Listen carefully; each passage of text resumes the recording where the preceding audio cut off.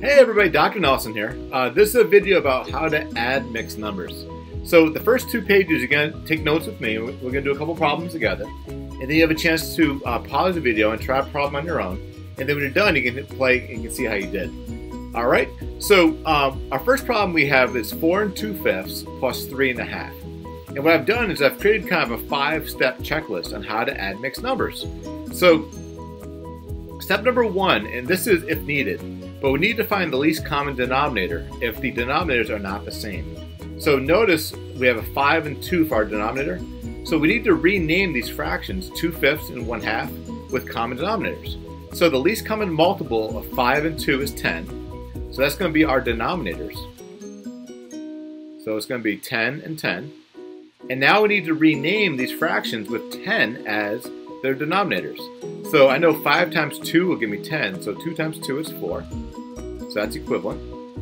And then 1 half of 10 is 5, so 1 half equals 5 tenths. So now I've jumped over to step 3, I need to add these fractions. So 4 tenths and 5 tenths adds up to 9 tenths. So I just found the sum of the fractions of 1 half and 2 fifths. So now I need to add the whole numbers. So the whole numbers in this case is 4 and 3. So 4 and 3 add up to 7. And then finally I'm going to add the 9 tenths to the 7. So it's going to be 7 and 9 tenths. And then finally I want to check to make sure that the fraction is written in lowest terms and 9 tenths is, re is reduced. So that is our answer right there. 7 and 9 tenths. Alright, let's turn the page. Let's do one more together that's a little more complex. Um, here we have 8 and 7 tenths plus 4 and 3 quarters. Now, once again, we need to rename these fractions with common denominators. So the least common uh, multiple of 10 and 4 is 20. So we're going to rename these fractions with 20 as denominators. So 20 and 20. So this is going to be 14 20ths. And this one is going to be 15 20ths. So now I'm going to add these fractions together. So now we're in step 3.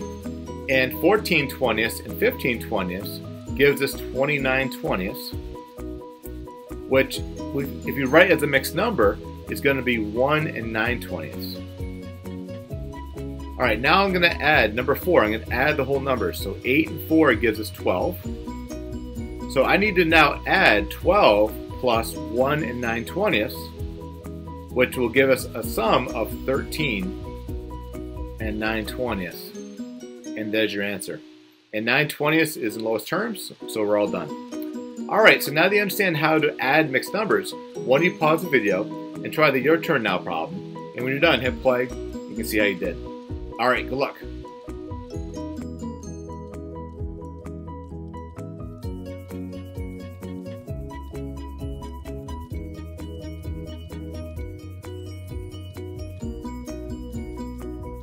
All right, welcome back. Let's see how you do with this practice problem. So you had to add two and a third plus three and a half. So the first thing you have to do is you had to add one third and one half. So you had to come up with the least common denominator, which is going to be six, because six is the least common multiple of three and two. Then you had to rename these. So one third equals um, two six, and one half equals three six. And now I can add the fractions. So two six and three six equals 5, 6. Now we need to add the whole numbers. So 2 plus 3 is 5. And 5 and 5, 6, that's our answer. And 5, 6 is in lowest terms. So there it is. All right, how'd you do?